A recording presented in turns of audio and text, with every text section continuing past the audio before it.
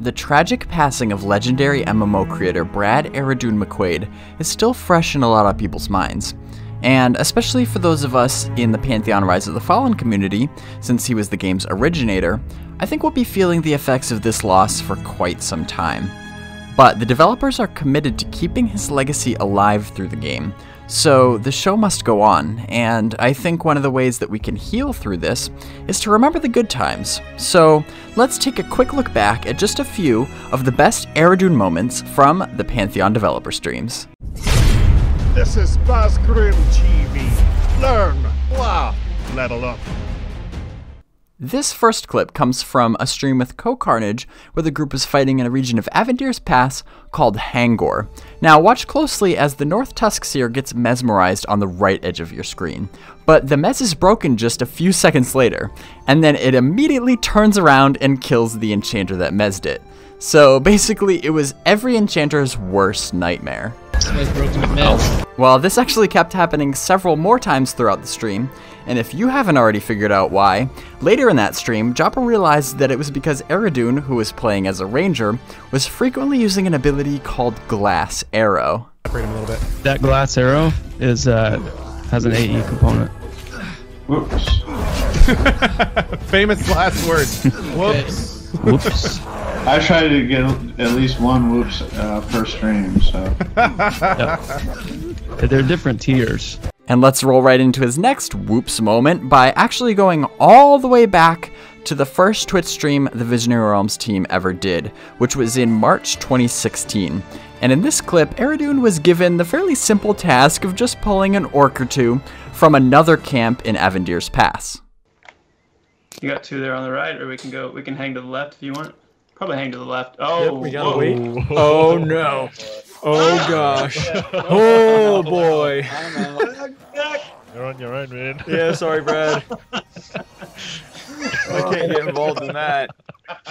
Whoops. Oh boy. That would be me being bad. That sounds we got a little uh That was awesome. got a little antsy there maybe. We may want to hang to the right.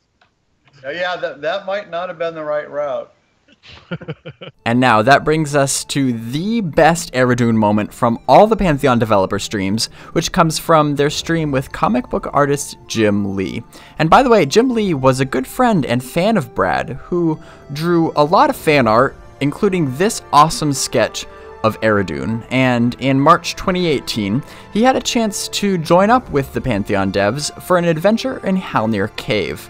And when the group finally arrived at the lair of Nashura, we were gifted with not only the best Aradune moment, but one of the best moments in all of the Pantheon dev streams so far. We meet oh, again. Oh yeah, the mask that that I had one of those masks.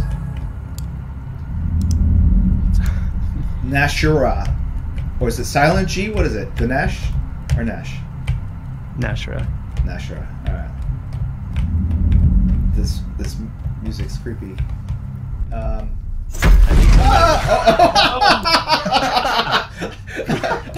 GG, Brad. See you later, dude. do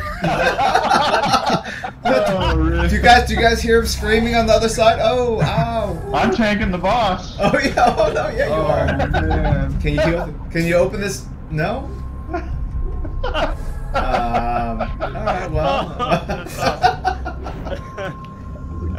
We have Oh, one memory. That was one step too far. yeah. And with that, I hope you enjoyed this look back at just a few of the best moments from the one and only Aradune. He will always be missed dearly, and I don't think any amount of tribute videos could ever really do him justice. But like I said earlier, the best way to honor his legacy is to finish what he started with Pantheon. The Visionary Realms team is already moving forward with this, but of course there's still a lot of work left to be done. So if you want to help make Brad's dream a reality sooner rather than later, I'd encourage you to join me in supporting them in this journey, whether that be making a pledge on their website, sending the developers an encouraging message, or even just telling anyone you can about the game. It can all make a difference. And speaking of which, I've got a lot more Pantheon videos on the way, so I'll see you in the next one.